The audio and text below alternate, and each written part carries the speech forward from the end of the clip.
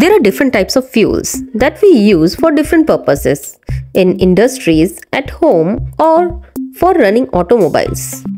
For example, wood, coal, charcoal, petrol, diesel, kerosene, and compressed natural gas. Now, if you observe carefully, you will find the difference in the burning of a candle and a coal. In case of a candle, it burns with flame, whereas in case of a coal, it burns without flame. Let's take one more example.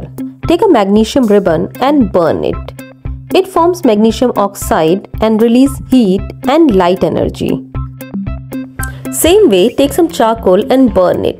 It burns in the presence of oxygen and produce carbon dioxide, heat and light.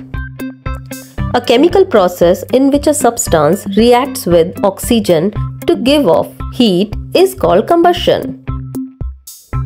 The substance that undergoes combustion is said to be combustible. In this case, the coal is combustible.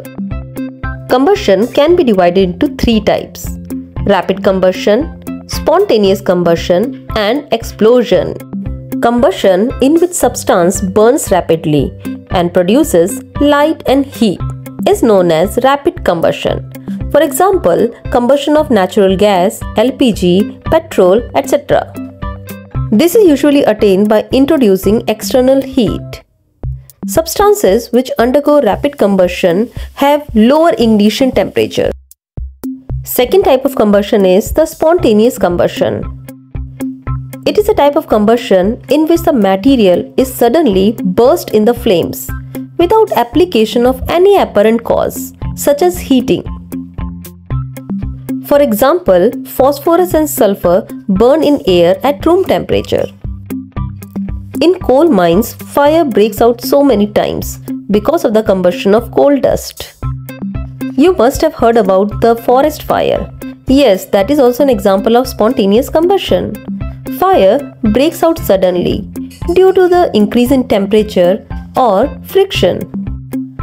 Third category is called the explosion. During combustion, if large amount of gas, sound and light is produced, that is called explosion. For example, firecrackers and bombs are substances which shows explosion. Explosion can also occur when pressure is applied on the cracker.